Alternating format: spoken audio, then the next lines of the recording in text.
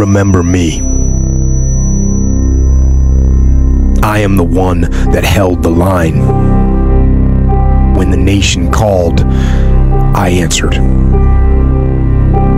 In order to serve, I left behind the family, friends, and freedom that so many take for granted. I stayed up late and woke up early and trained in the mud and the rain and the misery. I became stronger. I became tougher. I became better. Some things about war evolved and changed with the times, but remember that it was always me, the warrior.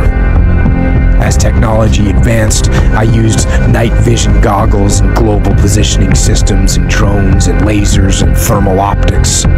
But it was still me, the warrior, that did the work. It was me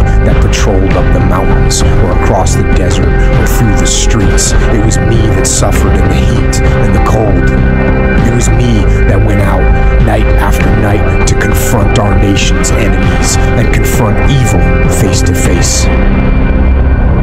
It was me. But also remember, I was not just a soldier, sailor, airman, or marine. I was a son, a brother, a father, a daughter, a sister, a mother. I was a person like you. I, the soldier, sailor, airman, marine, I, the American fighting man. I stood my ground and sacrificed my life, my future, my hopes, my dreams. I sacrificed them all waste it.